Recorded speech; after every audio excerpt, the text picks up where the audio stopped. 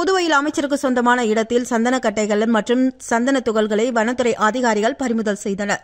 இந்நிலையில் சந்தன கட்டைகள் வாங்கியதற்கான சரியான ஆவணங்கள் இல்லை என்று தெரிவித்துள்ளனா் நேற்று நூற்றி ஐம்பத்தி ஆறு பைகளில் சந்தன துகள்களை சேலம் வனத்துறை அதிகாரிகள் பறிமுதல் செய்தனர்.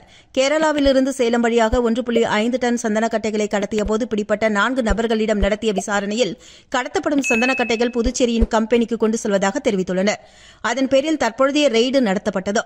புதுச்சேரி மாநில வனத்துறை அமைச்சர் தேனி ஜெயக்குமாருக்கு சொந்தமான இடத்தில் சட்டவிரோதமாக பதுக்கி வைக்கப்பட்டிருந்த பல கோடி ரூபாய் மதிப்பிலான ஆறு புள்ளி இரண்டு டன் சந்தன மரத்துகள்கள் மற்றும் சந்தனக்கட்டைகளை தமிழக வனத்துறை அதிகாரிகள் அதிரடியாக பறிமுதல் செய்து சம்பவம் பெரும் பரபரப்பை ஏற்படுத்தியது.